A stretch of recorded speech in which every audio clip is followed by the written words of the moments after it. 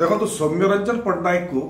ବିଜୁ ଜନତା ଦଳର ରାଜ୍ୟ ଉପସଭାପତି ପଦବୀରୁ ବହିଷ୍କାର କରିବା ବିଜୁ ଜନତା ଦଳର ବୁଡ଼ିଲା ଗୋଡ଼ ତଲକୁ ତଲକ ଶତ୍ରୁଶହ ସୌମ୍ୟରଞ୍ଜନ ପଟ୍ଟନାୟକ ମୋତେ ତ ଲାଗୁଛି ଯେ ସମ୍ପାଦର ଏଡିଟର ମଧ୍ୟ ଅଛନ୍ତି ଏବଂ ବିଜୁ ଜନତା ଦଳର ଉପସଭାପତି ଅଛନ୍ତି ସୌମ୍ୟରଞ୍ଜନ ପଟ୍ଟନାୟକ ଉଣେଇଶହ ପଞ୍ଚାନବେରୁ ଦୁଇହଜାର ମସିହାରେ ଯେତେବେଳେ କଂଗ୍ରେସ ଦଳର ବି ସରକାର ଥିଲା ସେ ସମୟରେ ବି ଜାନକୀ ବଲ୍ଲଭ ପଟ୍ଟନାୟକ ସରକାର ବିରୁଦ୍ଧରେ ସମ୍ବାଦ ଅନେକ କଥା ଲେଖିଛି ଏବଂ ଜଣେ ସମ୍ପାଦକ ହିସାବରେ ଲୋକଙ୍କର ସମସ୍ୟା ରାଜ୍ୟର ସମସ୍ୟା ଜନସାଧାରଣଙ୍କର ମତ ଜନମତକୁ ସର୍ବସାଧାରଣରେ ପ୍ରକାଶ କରିବା ତାଙ୍କର ଦାୟିତ୍ୱ ଏବଂ କର୍ତ୍ତବ୍ୟ ସୌମ୍ୟରଞ୍ଜନ ପଟ୍ଟନାୟକ ସେ କାମ କରିଛନ୍ତି ଏଡିଟର ହିସାବରେ ଏବଂ ବିଜୁ ଜନତା ଦଳର ସଦସ୍ୟ ହିସାବରେ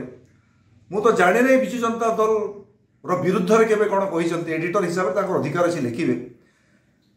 ଏବଂ ବିଜୁ ଜନତା ଦଳର ନେତାମାନେ ଯେଉଁ କଥା କହୁଥିଲେ ମୋତେ ଲାଗୁଛି ଯେ ସୌମ୍ୟରଞ୍ଜନ ପଟ୍ଟନାୟକ ବ୍ଲାକମେଲ୍ କରୁଛନ୍ତି ପାର୍ଟିକୁ ବୋଲି ମୋତେ ଲାଗୁଛି ସୌମ୍ୟରଞ୍ଜନ ପଟ୍ଟନାୟକକୁ ବିଜୁ ଜନତା ଦଳର ନେତାମାନେ ବ୍ଲାକମେଲ୍ କରୁଥିଲେ ଏବଂ ଏଇଥିପାଇଁ ବ୍ଲାକମେଲ୍ କରୁଥିଲେ ଯେ ତୁମେ ସମ୍ବାଦରେ ଅଧିକ କଥା ଲେଖ ନାହିଁ ଲେଖିଲେ ତୁମ ବିରୁଦ୍ଧରେ ଆକ୍ସନ୍ ହେବ ମୋତେ ଲାଗୁଛି ସୌମ୍ୟରଞ୍ଜନ ପଟ୍ଟନାୟକକୁ ବିଜୁ ଜନତା ଦଳ ର ନେତାମାନେ ତାଙ୍କୁ ବ୍ଲାକମେଲ୍ କରୁଥିଲେ ଏବଂ ଜଣେ ନିର୍ଭୀକ ସମ୍ପାଦକ ହିସାବରେ ସେ ତାଙ୍କର ଦାୟିତ୍ୱ ସମ୍ପାଦନ କରିଛନ୍ତି ତାଙ୍କୁ ଉପସଭାପତି ପଦବୀରୁ ବହିଷ୍କାର କରିବା ଏହା ବିଜୁ ଜନତା ଦଳକୁ ଶକ୍ତିଶାଳୀ କରିବ ନାହିଁ ମୋ ମତରେ ବୋଧେ ଫାଇଭ୍ ଟି ସଚିବ ପାଣ୍ଡିବନ ପାଣ୍ଡିଆନ ଏହାଦ୍ୱାରା ଶକ୍ତିଶାଳୀ ହେବେ ଏବଂ ତାଙ୍କ ବିରୁଦ୍ଧରେ ଯେଉଁ ଜନ ଅସନ୍ତୋଷ ଦଳ ଭିତରେ ଅଛି ଦଳର ବରିଷ୍ଠ ନେତାମାନଙ୍କ ଭିତରେ ଯେଉଁ ଆକ୍ରୋଶ ଅଛି ପାଣ୍ଡିଆନଙ୍କ ବିରୁଦ୍ଧରେ ବୋଧେ ତାକୁ ଦବାଇବା ପାଇଁ ସୌମ୍ୟରଞ୍ଜନ ପଟ୍ଟନାୟକଙ୍କୁ ଉପସଭାପତି ପଦବୀରୁ